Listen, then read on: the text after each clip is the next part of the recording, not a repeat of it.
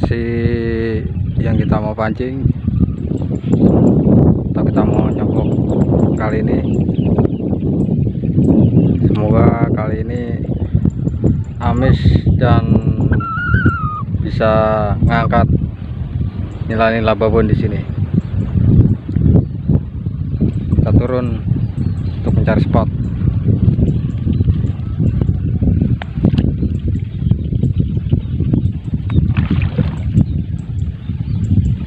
air satu dengkul lebih atau satu paha kurang. Ganggangnya di sini sangat lebat. Spot yang mau saya pancingin di kangkung tengah-tengah kangkung ini